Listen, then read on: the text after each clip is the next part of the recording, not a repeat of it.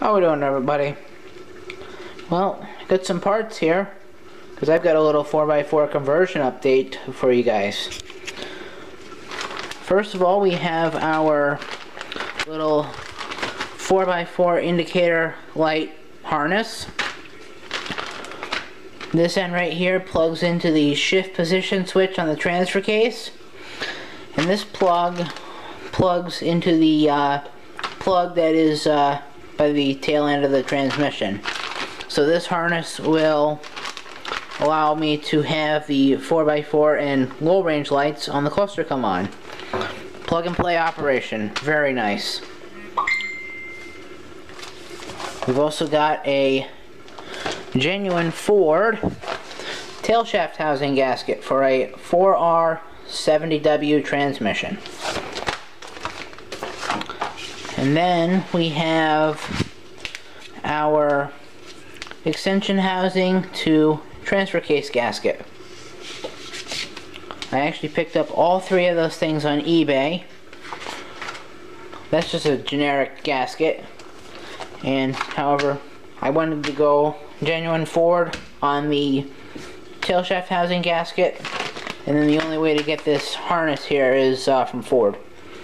Now, this um, harness here is discontinued.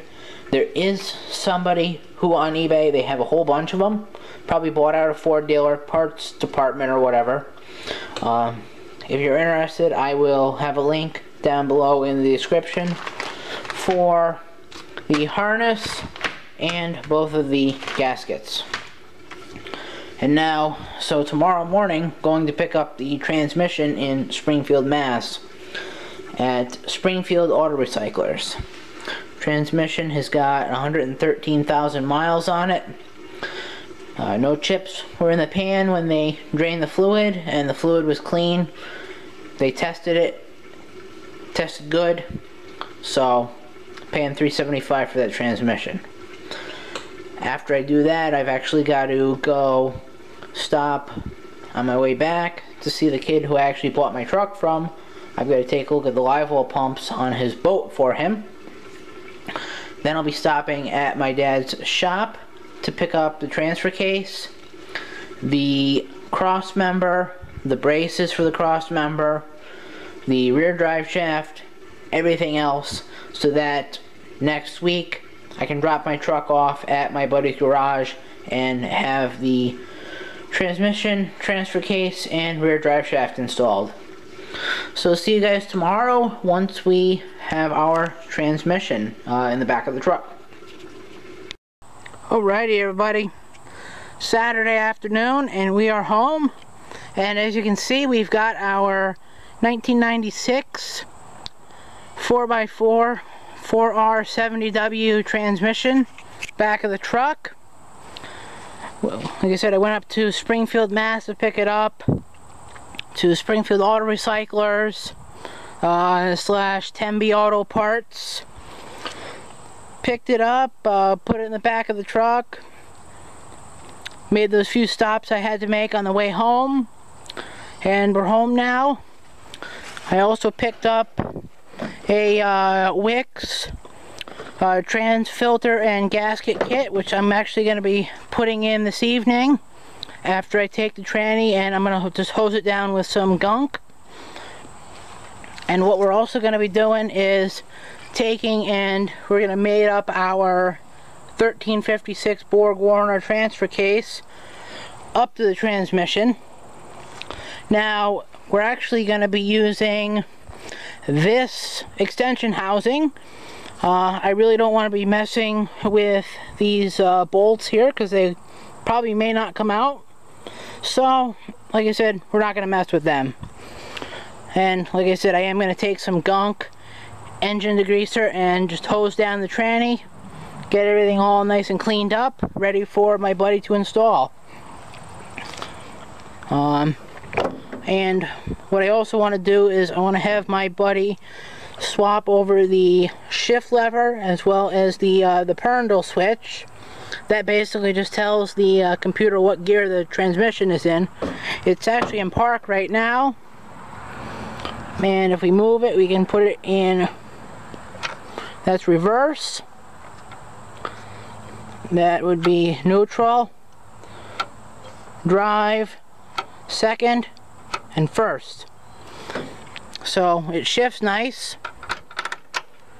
And you can see when we got it in park, locks up just fine. We're going to put it in neutral. And it turns. It's a little stiff going in one direction. I'm not sure why that is. But uh, probably means that the, uh, the clutch plates are in nice condition. So I will bring you guys back once I've got the transmission hose down and uh, got the pan pulled off. And we'll uh, change out that filter and gasket. And uh, we'll just have a look and uh, see what everything looks like. So I'll bring you guys back in a little while. Bye. Alrighty, we got our trans all cleaned up. Got the pan pulled off. You can see we made a huge crime scene on the back of the truck with ATF. But I'll be able to clean that up. And see the pan is looks beautiful inside. So not much on the magnet at all. Well, got a little bit of material, but that's pretty normal. So I'm to clean up the pan we're to clean up the gasket, actually, because this is a reusable gasket and probably an OEM Ford gasket. We're to put the new filter on and uh, button her back up. So, see you guys when we get our uh, transmission pan all uh, back on. Alrighty, we got our transmission all back together now. We got our crime scene all cleaned up. Now we are going to take and unbolt our 1356 manual shift transfer case off of this extension housing. We're also going to take our shifter off and we are going to be bolting them up to our 4x4 4R70W. Uh, I gotta grab the gasket out of the truck and uh, once everything is all bolted back to, well, bolted together, I will bring you guys back and we will probably conclude our video after that. So I will see you guys shortly. Alrighty, we got our transfer case all bolted up to our transmission. I still need to swap over the mode selector for the uh, four-wheel drive shifter. However, that's a matter of one bolt. It'll only take me a minute or two to actually do. Um, however, uh, my buddy is also going to cut the hole in the floor for me and put the shifter boot in place. So, probably won't bolt that up just right away.